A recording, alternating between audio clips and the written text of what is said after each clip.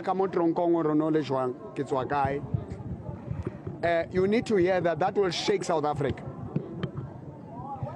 Whatever you do don't get caught. And whatever you do do not do something that will get you caught.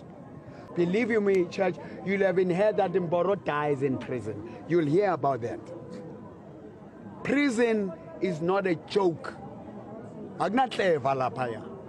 but we have seen God. So all I'm saying now, as we go out on bail, I'm not in any campaign of harming anyone, of revenging on anyone.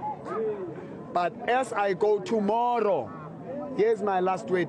Media ke tlo etsa hantle nako ne mm. le ntshwarele. I honor you where you will have enough questions where you will have a media briefing, you will get time to ask.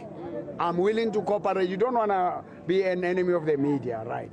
Yeah. o feel jwang gore you are free now being free Na na hona jwale, I am happy that I am out to to build this country, to build our families, to build our grandchildren, to build South Africa, and to show who the love conquers hate.